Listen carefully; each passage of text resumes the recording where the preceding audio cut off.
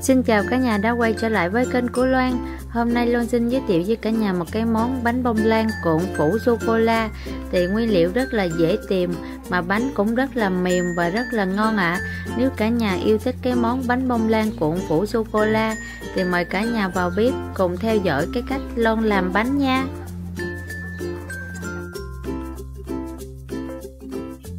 Nguyên liệu để làm bánh bông lan cuộn thì mình cần chuẩn bị 120g bột mì 100g đường 6 cái lòng trắng trứng gà 6 cái lòng đỏ trứng gà 50ml sữa tươi không đường 60g bơ lạc 50g dầu ăn 7g bột nở, một ít muối và một ít hương vanilla.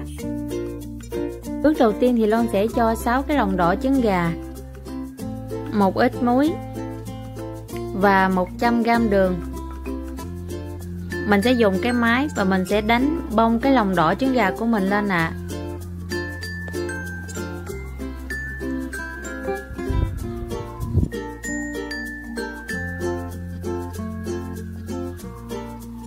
đánh cho đến khi nào cái lòng đỏ trứng gà của mình nó bông trắng lên như thế này ạ à. là đạt, sau đó thì mình sẽ để qua một bên tiếp theo thì Loan sẽ cho 6 cái lòng trắng trứng gà và 7 gram bột nở và mình sẽ dùng cái máy, mình sẽ đánh cho nó bông cứng cái lòng trắng trứng gà của mình lên ạ à.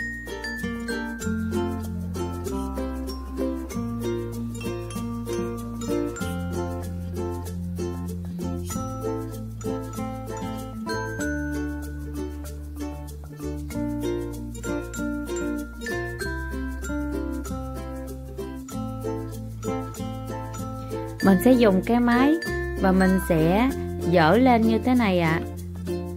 nếu mà cái lòng trắng trứng gà nó không có rớt xuống như vậy là đạt đạt sau khi đánh cái lòng trắng trứng gà nó bông cứng rồi thì bây giờ mình sẽ cho cái lòng đỏ trứng gà vào trong cái lòng trắng và mình sẽ trộn lại cho hai cái hỗn hợp này nó đều ạ à.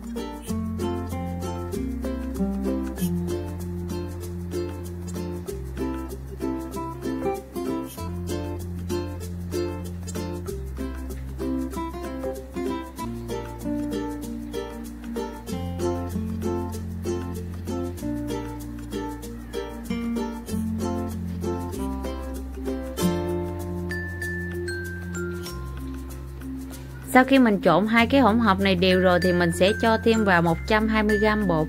Và cả nhà xin lưu ý là mình sẽ gây bột nghe cả nhà để cho bánh của mình nó được mịn hơn.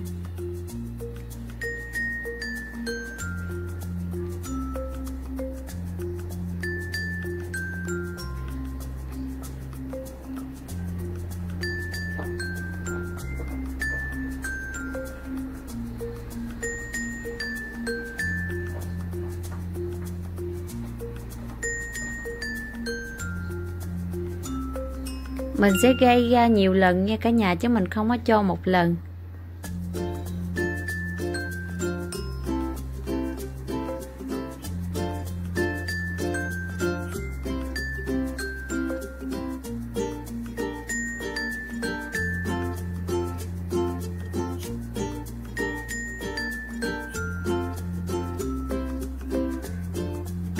Sau khi gây bột xong thì Lon sẽ cho thêm vào một ít hương vanilla để cho bánh của mình nó được thơm hơn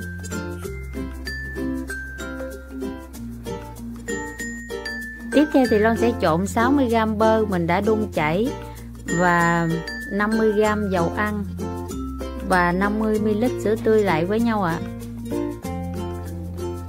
Sau đó thì Long sẽ cho thêm vào một ít bột trứng lúc nãy mình đã đánh vào trong cái bơ và dầu ăn như thế này mình sẽ đánh lên cho cái hỗn hợp này nó đều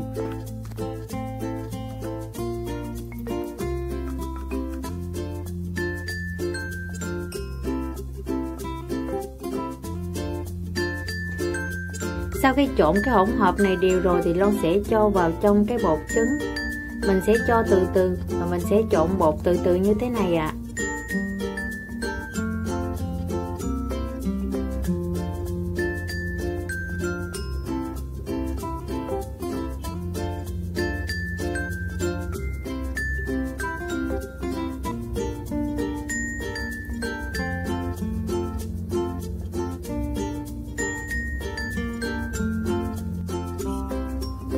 Sau khi trộn bột đều rồi á, thì bây giờ Loan sẽ cho bột vào trong khay để mình nướng bánh và cả nhà xin lưu ý, cái khay này mình để ở trong cái lò nướng 5-6 phút để cho cái khay nó hơi ấm ấm, để cho bánh của mình nó mau nở hơn ạ à.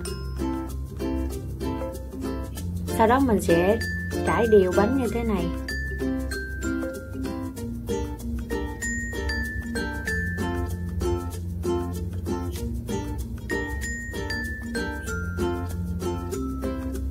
sau khi trải đều bánh rồi thì bây giờ mình sẽ cho vào trong lò nướng.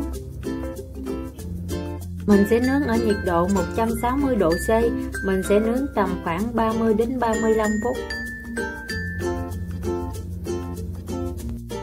Bánh của mình bây giờ đã nướng xong rồi này cả nhà. Bây giờ thì mình sẽ để qua một bên để cho bánh của mình nó nguội nha. Lon sẽ đánh 150ml kem tươi này cho nó bông cứng lên để một hồi mình cho vào trong cái à, bánh bông lan.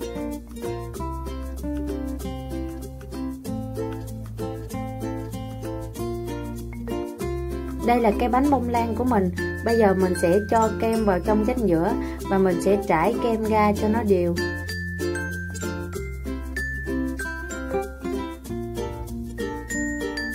Cả nhà xin lưu ý là mình sẽ cho kem vừa phải thôi cho cả nhà vì cho kem nhiều quá, một lúc nữa mình cuộn bánh bông lan lại, thì kem nó sẽ bị chảy ra ngoài ạ à.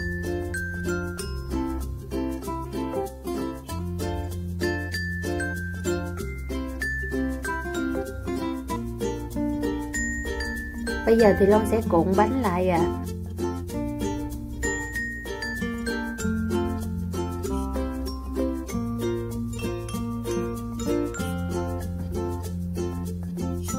Mình sẽ cuộn hơi chặt tay một tí xíu thì lúc một lúc nữa cái bánh của mình nó sẽ tròn hơn nha cả nhà sau khi cuộn bánh xong thì long sẽ cho vào trong tủ lạnh và để khoảng tầm một tiếng Nguyên liệu để làm sô-cô-la phủ lên trên mặt bánh thì mình sẽ có 50g sữa đặc, 50g đường, 50ml nước lạnh, 50ml kem tươi và 150g sô-cô-la trắng. Cả nhà có thể thay thế sô-cô-la nâu. Mình sẽ bắt một nồi nước sôi và mình sẽ làm tan chảy cái sô-cô-la của mình như thế này ạ. À.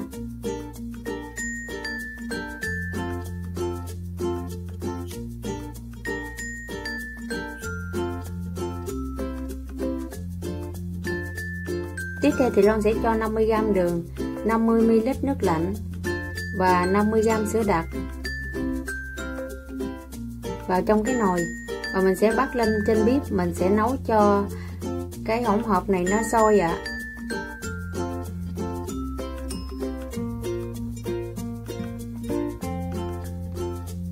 sau khi cái hỗn hợp này sôi rồi á, sau đó thì Loan sẽ cho cái hỗn hợp này vào trong cái sô cô la mình sẽ cho thêm vào 50ml kem tươi. Mình sẽ trộn lại cho cái hỗn hợp này nó đều sau khi cái hỗn hợp này nó đều rồi thì Loan sẽ cho vào trong tủ lạnh. Khoảng 1 tiếng đến 1 tiếng rưỡi. Đây là cái bánh bông lan mình đã để trong tủ lạnh được khoảng 1 tiếng rồi đó cả nhà. Bây giờ mình sẽ lấy ra. Sau đó thì mình sẽ cắt đôi ạ. à.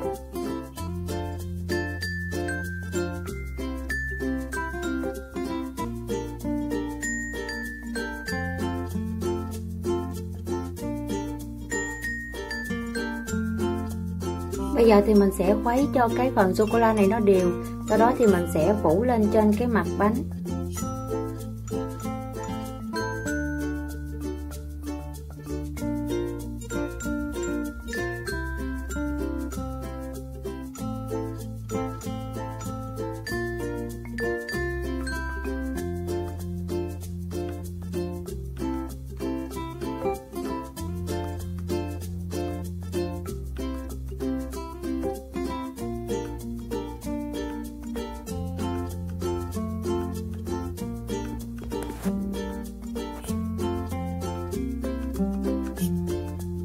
Sau khi phủ đều lên trên mặt bánh rồi á, thì long sẽ cho vào trong tủ lạnh khoảng nửa tiếng bánh của mình để được trong tủ lạnh nửa tiếng rồi, bây giờ mình lấy ra và mình sẽ phủ sô cô la thêm một lần nữa ạ à.